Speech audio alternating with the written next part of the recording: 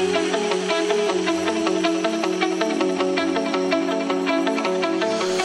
fear failure. As long as it's not gonna kill you, it's gonna make you what? Stronger.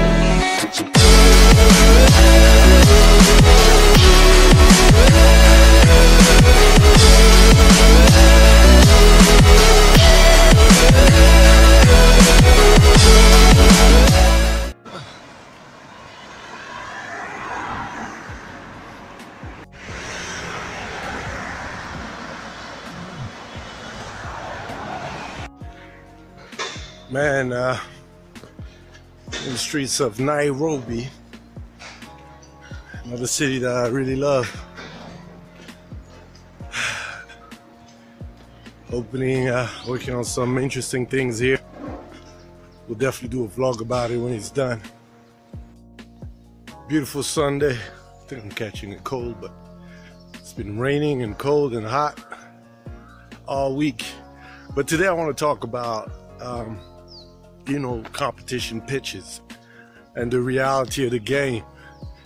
You know, um, I've done, man, I've done dozens. No, I'm exaggerating. Maybe uh, nine or ten. I don't remember. I've done a lot for the last five years, and um, a lot of them promises investment. A lot of them, um, you know, uh, promises contact. Now, I'm not saying pitches are good or bad. That's up to you to judge. If you do some, do some. At least use for networking.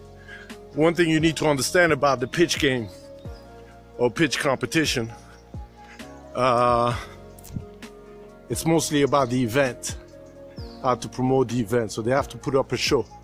You know, they have to um, they have to build their own momentum, their own brand, and it's not necessarily about the pitch itself.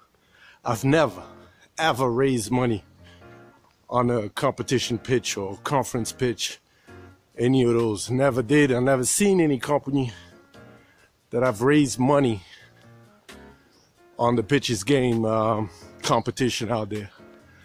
And uh, the reason why I'm saying that is because a lot of time we put a lot of effort on those pitch game or pitch competition and we find ourselves that, you know, it's a lot of resources, time we spent, high expectation and we get disappointed.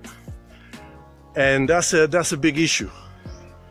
Um, so you know for all young entrepreneur out there if you look carefully if you look at how the game is played the people that raise the most money company wise you know don't do pitch competition they don't do no competition at all.